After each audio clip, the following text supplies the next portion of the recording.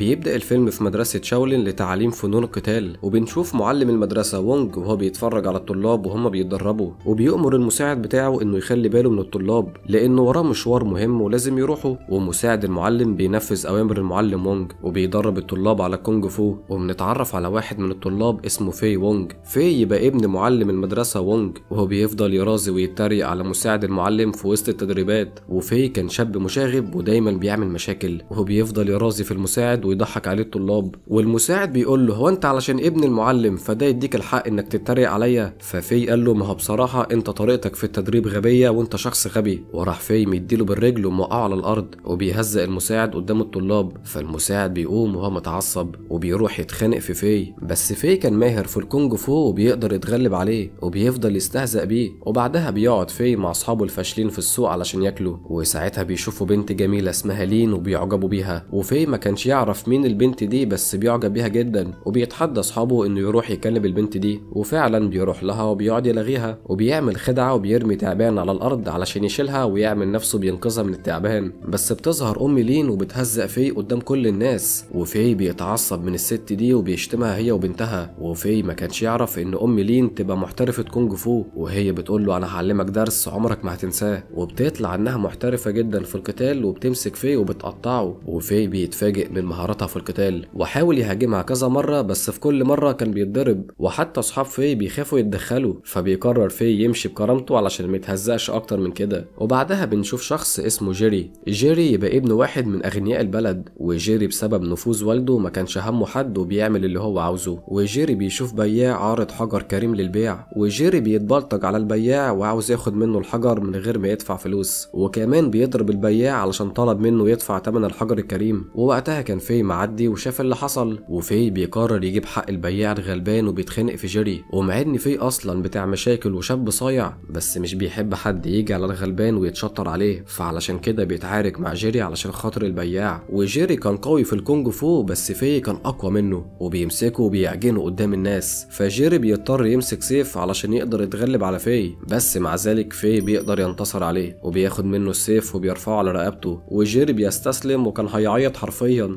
وفي خد الفلوس من جيبه واداها للبياع الغلبان. وبعدها بنروح لأم لين اللي كانت قاعدة مع المعلم وونج. وبنعرف من كلامهم إن أم لين تبقى أخت المعلم وونج. وفي بيوصل المدرسة ولما بيشوف أم لين قاعدة بيتسحب وكان داخل أوضته بس أبوه بيشوفه وبينده عليه وبيقول له تعالى سلم على عمتك. وفي بيتصدم لما بيعرف إن الست اللي لسه مقطعة ضرب تبقى عمته وما كانش عاوز يوري وشه ليها. بس عمته كانت مصممة تشوفه. وبتتصدم لما بتعرف إن هو الولد الصايع اللي عاكس بنتها. وعلى طول بتبلغ وونج إن في عاكس بنتها. وكمان كان عاوز يضربني وونج لما عرف كده ضرب ابنه بالقلم ووقعه على الأرض. وكان لسه هينزل فيه ضرب بس بيوصل واحد اسمه لي. ولي ده يبقى أبو جيري اللي لسه في مقطعه من الضرب. وبنشوف إن جيري بقى في حالة سيئة بسبب قتاله مع في ولي بيقول لوونج ابنك هاجم ابني وهو اللي عمل فيه كده. وكسر رجليه ودراعه وكسر عظمه. ولي ورجالته كانوا عاوزين ينتقموا من في ويضربوه. بس عمته بتتدخل وبتدافع عن في وبتقول إنهم لازم ينظموا مباراة ما بين في وحد من رجالة لي وبكده هتكون مباراة متكافئة. ولي بيوافق وبيختار أمهر مقاتل عنده علشان يقاتل في وبيبدأ فعلا القتال والراجل بتاع لي كان قوي جدا وبيسدد لفي ضربات قوية وبيقدر يوقعه كذا مرة. بس في كان لسه واقف وبيقاتل بقوة وعمته بتديله نصايح علشان يتغلب على خصمه. وفعلا في بيعمل بنصايح عمته وبيستخدم أسلوب معين في الكونج فو وبيقدر يتغلب على الراجل بتاع لي. وليه بعدها بياخد رجالته وبيمشي من المكان. بس كان لسه وونج متعصب من في وبيقول له انت عملت لي مشاكل كتير قوي النهارده وونج بيقرر يعاقب ابنه وبيخليه يعمل تدريب قاسي اسمه تدريب الحصان وده عبارة عن إن في هيكون متذنب بالوضعية دي وفي شمعة هتكون تحتيه علشان لو استريح الشمعة تلسعه ولازم يفضل ثابت بالشكل ده لمدة خمس ساعات. ومساعد المدرب كان بيراقبه علشان يتأكد إن في مش هيغش وهو مساعد المدرب كان شمتان في في لإن في هزقه قدام الطلاب قبل كده. وبيقرر كمان يزود من شدة التدريب على في وبيكب مية سخنة في الطبق اللي فوق دماغه وبيفضل يغلس عليه ويستفزه ولكن بيظهر جيمي صاحب في وكان معاه كرسي وبسرعة بيحط الكرسي ده لفي علشان يقعد عليه ويستريح. بس لسوء حظ في بيجي ابوه وبيشوفه وهو قاعد على الكرسي وبيقول له أنا لازم أجيب عمك سوهاي وهو اللي يدربك بنفسه وونج بيلغي التدريب ده وبيعمل له تدريب أصعب وبيربطه في الهواء وبيخليه متعلق وشايل برقبته قاروره كبيرة مليانة مية. بس جيمي بيظهر تاني وبينقذه وبيوكله علشان كان جعان جدا وبعدها وبعدها بيحرره من الحبل اللي كان مربوط بيه. وجيمي بيسأله هو فعلا عمك سوهاي هيجي علشان يدربك؟ ففي قال له آه للأسف. فجيمي قال له دي مصيبة أنت مش سامع عن التدريبات بتاعت عمك. ده بيتقال عنه إنه قاسي جدا وممكن في تدريب من تدريباته دراعك يتقطع وأنا في مرة كنت أعرف طالب بيتدرب عنده وبسبب تدريباته بقى مشوه وأسنانه وشعره وقعوا. وفي بيخاف جدا بعد اللي سمعه من جيمي وجيمي بينصحه إنه يهرب بسرعة. وفعلا في بيعمل كده وبيهرب بس بيخش الأول مطعم قريب لأنه كان جعان جدا وبيشوف راجل غني قاعد لوحده فبيروح يقعد معاه. وفي طلب تقريبا كل الأكل اللي كان في المنيو والراجل الغني اتفاجئ من في وهو بياكل علشان في كان بياكل بسرعة وبشراهة كأنه ما شافش أكل قبل كده. وفي كان طول اليوم بيتدرب تدريبات شاقة من أبوه فعلشان كده كان ميت من الجوع. وبعد ما في مسح اللي كان واخد بعضه ومشي. والنادل لما سأله عن حساب الأكل في قال له إن الراجل الغني ده يبقى أبويا وهو اللي هيدفع. بس النادل قال له الراجل اللي قصدك عليه ده أصلا يبقى صاحب المحل وأنا أساسا ابقى ابنه يا حرامي ومش هتعرف تهرب من الحساب. وعمال المطعم بيتلموا حوالين في بس في قال لهم أنا نسيت محفظتي هروح أجيبها وأجي. بس قبل ما كان هيهرب بيظهر قدامه شخص عملاق اسمه جوريلا وبيوقف في وبيبداوا العمال يتلموا على في ويضربوه. وفي بيقدر يتصدى ليهم كلهم. بس بيجي عند جوريلا ومش بيعرف يعمل معاه حاجة. وجوريلا بيكسر عليه المكان. وبعدها بيكتفه والعمال بينزلوا في ضرب. ولكن فجأة بيظهر شخص عجوز وبيدافع عن في وبيقول لهم كل ده على واحد مش رجولة وبيقوم الرجل العجوز وبيضرب العمال بتوع المطعم والعمال بيستهونوا بيه عشان راجل عجوز. بس الراجل العجوز ده طلع ماهر في الفنون القتالية وبيقعد يتنطط في المكان ولا كأنه شاب وبيقف يعاركهم كلهم وبيخلص عليهم بكل سهولة. وبعدها بيهرب من المكان هو وفي وبيروح يستريحوا في مكان وفي بيشكره على المساعدة. ولما في ساله عن اسمه قال له أنا اسمي المعلم سوهاي. ففي بيحكي له إن في معلم برضه اسمه سوهاي بوظ له حياته وخلاه يهرب من المدرسة.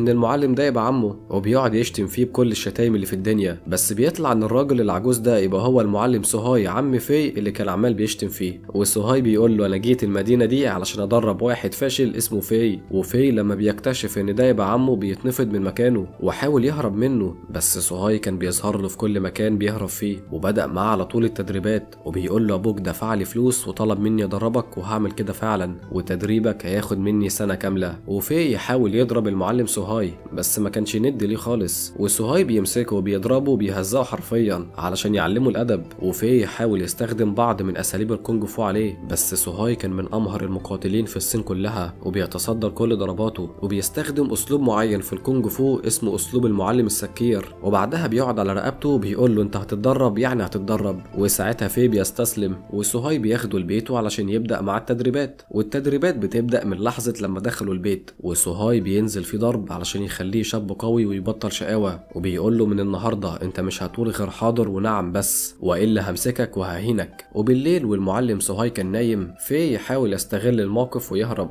بس بيتفاجئ إن سوهاي كان رابط صباع رجله بحبل. وبيقول له تعالى يا مفتح عامل لي فيها ذكي وعاوز تهرب. قال له والله ابدا أنا كنت عاوز أروح الحمام. وتاني يوم التدريبات الحقيقية بتبدأ وسوهاي بيوقفوا على أربع قدرات كبار وفيهم واحدة مليانة مية وبيخليه ينقل المية من قدره لقدره وفي اتخنق وجاب آخره وفكر في خطة علشان يهرب وراح داخل في القدره اللي مليانة مية وعمل نفسه بيغرق. وفي الأول سوهاي افتكره بيستعبط بس بعدها حس إن الموضوع جد. ولما راح علشان يطمن عليه في دخل سوهاي مكانه في القدره وخرج هو بسرعة. وبعدها حبسه جواها وحط صخرة كبيرة علشان ما يخرجش. وفي بعدها طلع جري من المكان بأقصى سرعته. ووصل بعدها في مكان علشان يستريح وينشف لبسه بس بيظهر لفي شخص خطير اسمه ساندر ليج. وساندر بيقول له أنت بتعمل إيه هنا في بيتي؟ خد بعضك وامشي من هنا حالا. وفي ما كانش يعرف مين هو ساندر ليج. ساندر ليج يبقى قاتل مأجور وبينفذ جرائم قتل مقابل الفلوس. وفي بيرفض يمشي إلا لما ينشف لبسه. فساندر بيتعصب منه بيقول له أنا لازم أعلمك الأدب. وعلى طول بيروح يهجم على في وبيوقعه على النار وبيلسعه. وفي بيحاول يهجم على ساندر وكان عاوز يضربه. بس ساندر بيطلع إنه شخص قوي جدا في الكونج فو وعنده أساليب نادرة في الفنون القتالية. وبينزل تلطيش وضرب في وبيقول لفي أنت فاشل قوي في الكونج فو. وفي يحاول يهجم عليه تاني ويثبت له إنه مش فاشل بس ساندر بيمسكه وبيعجنه وبينزل في ضرب بكل عنف وما كانش متساهل معاه وبيضربه بكل قوة وبعدها بيديله بالرجل وبيطيره وفي كان ضعيف قوي قدام ساندر وساندر قضى عليه تماما وداس على وشه وهان كرامته وبيقول له قدامك 20 سنة تدريب علشان تقدر تهزمني. وساندر خلاه يزحف تحت رجله وبعدها اداله بالرجل ومسك لبس في وحرقه قدامه وفي اتضايق جدا وحس إنه مكسور وطلع جري من المكان وكان متضايق متضايق جدا إن ساندر ضربه وهانه بالشكل ده وبيقرر إنه لازم يتدرب كويس علشان يرجع ينتقم من ساندر وبيقرر يرجع لعمه سوهاي علشان يدربه. وساعتها سوهاي كان قاعد متضايق إنه فشل في تدريب في وفي بيوصل وبيخش عليه وحاول يصالحه ويتكلم معاه بس سوهاي كان رافض. وفي اداله حاجة يشربها وقعد يتأسف له وقال له أنا عاوز أرجع أتدرب معاك. فسوهاي سامحه على اللي عمله وبدأ معاه التدريبات من جديد. وفي كان بيتدرب بكل جدية علشان يكون جاهز لمواجهة ساندر وسوهاي كان بيدربه بكل قوة وكان بيعلمه أساليب الكونج فو اللي بجد وبقى بيتعامل مع في على إنه ابنه وبيهتم بيه. وتاني يوم بيخلي في مربوط من رجله وخلاه يملى جردل المية ده باستخدام الفناجين. والتدريب المرة دي كان صعب جدا وفي لاحظ إن المعلم سوهاي نام ففي بيقرر إنه يغش وفك نفسه ونزل ملى الجردل. وراح صحى سوهاي وقال له أنا خلصت ومليت الجردل. بس سوهاي كان عارف إنه غش وكعقاب ليه اداله فنجانين أصغر وقال له روح بقى فضي المية ورجعها لمكانها تاني. وفي بيتضايق جدا وبيضطر يسمع الكلام. وبعدها سوهاي طلب منه يكسر شوية جوز باستخدام إيده. وفي حاول بس مش بيقدر بس بيفضل يتمرن وبيحاول لأن التدريب ده هيقوي من أعصابه. وفعلا مع الوقت في قدر يكسرهم بإيده. وعمل كده كذا مرة ونجح. وقال لسوهاي أنا تعبت جدا من التدريب وعاوز أرتاح. فسوهاي بياخده وبينزلوا المدينة. وبيخشوا على مجموعة من الناس بيلعبوا مراهنات. وسوهاي بيحط فلوس وبيراهن في الألعاب. وسوهاي كان شاطر في الألعاب دي وبيقدر يكسب فلوس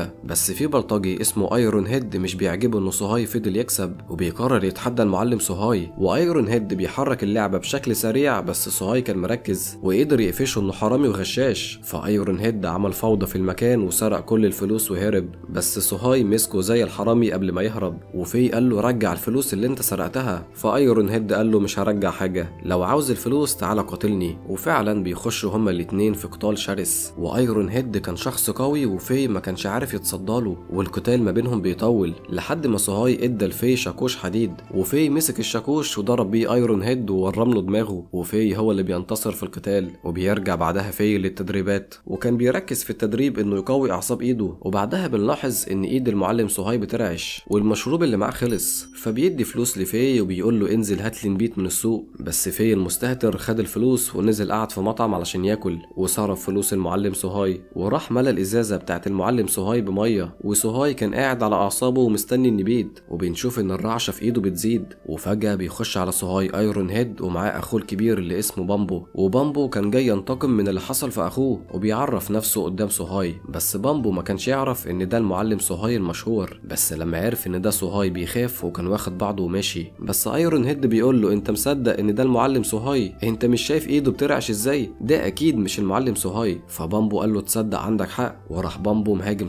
سوهاي وسوهاي ما كانش عارف يتصدى لبامبو علشان أعصاب إيده كانت بايظة وبامبو كان ماسك سوهاي ومقطعه من الضرب لحد ما أخيرا بيوصل في وبيشوف اللي بيحصل. وسوهاي قال له إديني النبيت يا زفت. وسوهاي لما خد النبيت وشربه بيكتشف إن دي مية وبامبو بيهاجمه تاني وكان هيخلص عليه بس بينقذه في وفي وسوهاي بيقاتلوا بامبو بس بامبو كان قايم بيهم هما الاتنين ونزل فيهم ضرب فالاتنين اضطروا يهربوا منه زي الجبناء. واستنوا لحد ما بامبو مشي ورجعوا لبيتهم تاني. وفي كان ندمان إنه كان السبب في هزيمتهم من بامبو علشان صرف الفلوس وما جابش لسوهاي النبيت اللي طلبه وسوهاي قال له دي أول مرة أتهزم فيها في حياتي علشان بفقد قوتي من غير النبيت. وفي قال له لو أنت كنت دربتني وعلمتني الأسلوب بتاعك في القتال كان زماني هزمت بامبو. بدل ما أنت عمال تعلمني تمارين ضغط وعقلة وتمارين مملة فسوهاي بيضحك وبيقول له أنا كنت بجهزك علشان تتعلم الأسلوب السري وهو أسلوب المعلم السكير. وبعدها سوهاي بيشرب نبيت وبيبدأ يعلمه. وأسلوب المعلم السكير ده بيعتمد إن المقاتل يبقى سكران وبيقول له الأسلوب ده مليان أسرار وخدع وأهمها إن الخصم بيظن إنك ضعيف واتهزمت. بس أنت بتتظاهر إنك ضعيف علشان تنتصر وبيقعد سوهاي وفي يشربوا طول الليل لحد ما في فقد الوعي. وتاني يوم الصبح في بيبدأ يتدرب على أساليب المعلم السكير وبيطبق كل التعليمات اللي خدها من سوهاي ولياقته البدنية بتتحسن جدا وبيطبق كل التعليمات دي وهو سكران. وبعدها بنروح لمدرسة المعلم مونج أبو في وليه أبو جيري بيجيله وبيتكلم معاه في موضوع مهم.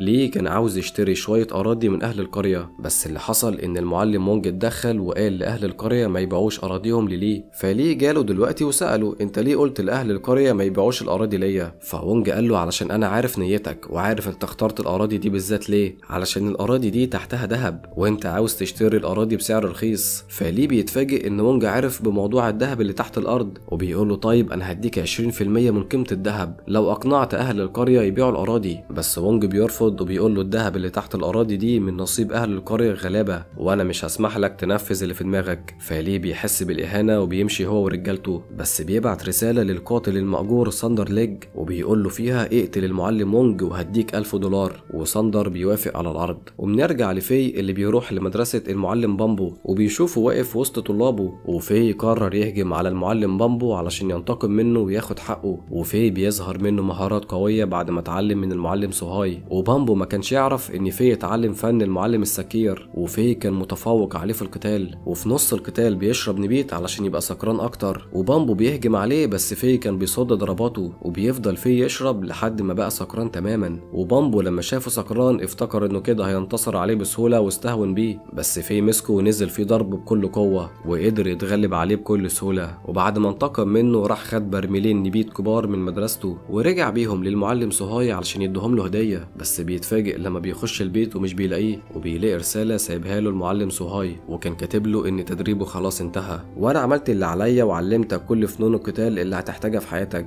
وبينصحه إنه يمارس فن القتال اللي هو حبه ومتقنه وبيفكره إن أسلوب المعلم السكير هو من أقوى فنون الكونج فو. وارجع لأبوك وخليك ولد كويس. ولو احتجتني في أي وقت هجيلك. وفي بيتضايق علشان يتعلق بالمعلم سوهاي جدا وما كانش عاوز يسيبه. وبنروح لمدرسة المعلم وونج وفي طالب بيجي لوونج وبيقول له تعالى بسرعة رجالة ليه بيحفروا في أراضي الناس؟ فوونج بيتحرك مع الطالب بتاعه والطالب بيفضل مستدرجه للصحراء وبيطلع إن الطالب ده عامل له فخ واستدرج وونج لساندر ليج وساندر ليج بيهجم عليه فورا وبيعرفه إنه قاتل مأجور وفي حد اداله فلوس علشان يقتله ووونج قال له وريني آخرك وبيكملوا قتال ما بينهم وساندر ليج كان مسيطر على القتال ووونج لأنه سنه كبير ما كانش عارف يجاري ساندر ليج وساندر ليج بينزل فيه ضرب وبيوقعه على الأرض وكان على وشك يقتله بس بيظهر طالب مخلص جاب معاه في علشان يلحق أبوه. وفي بيتفاجئ لما بيشوف ساندر ليج من جديد. والحياة بتدي لفي فرصة للانتقام من اللي عمله فيه ساندر ليج. وفي المرة دي كان شجاع وما كانش خايف منه. وبيكلمه بكل ثقة. وساندر ليج بيقول له أنا هدفنك أنت ووالدك. وساعتها بيظهر سوهاي وبيدي النبيت لفي وفي بيشربه وهو بيقاتل ساندر ليج. وساندر كان مسيطر على القتال بس في لما بيشرب بيعرف يواجه ساندر. وسوهاي كان جايب له نبيت مفعوله سريع.